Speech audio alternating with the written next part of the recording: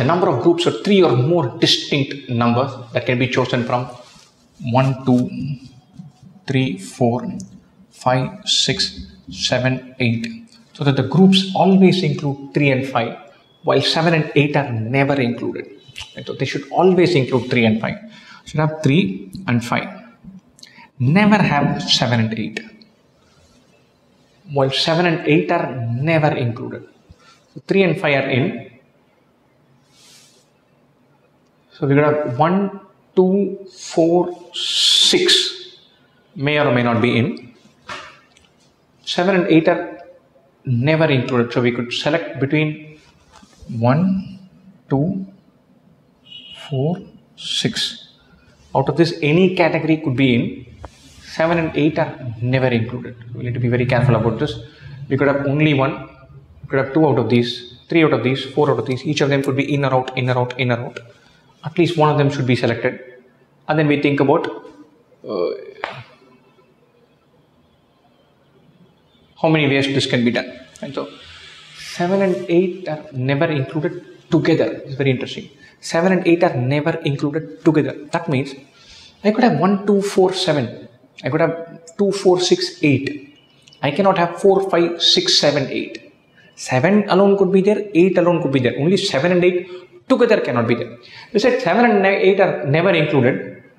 Then it's easy. Think about 1, 2, 4, 6, figure out the combinations we done. 7 alone can be there, 8 alone could be there. So what do we do? We say, hey, let's count everything.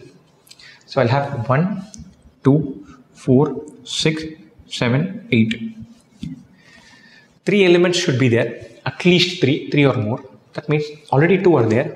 Out of this 1, 2, 3, 4, 5, 6, at least one should be there. Each of them could be in or out, in or out, in or out. 2 power 6 possibilities. From this we subtract 1. The one possibility where nothing is selected. So 2 power 6 minus 1. We have 63 subsets possible that are at least 3 or 3 elements and 3 and 5 are included. Now within this we'll say we'll remove everything where we have 3, 5, 7 and 8. Everything that includes 3, 5, 7 and 8. That means 3, 5, 7, 8 out of 1, 2, 4, 6. Any 1 could be there, any 2 could be there, any 3 could be there, all 4 could be there, none could be there. All of those possibilities will remove. That means out of 1, 2, 4, 6, in, out, in, out, in, out, in, out, all possibilities, 2 power 4 possibilities, 16 different combinations will remove. Because all 16 of them will have 3, 5, 7 and 8. That's not possible. So from this 63, we'll knock off those 16 to give ourselves 47.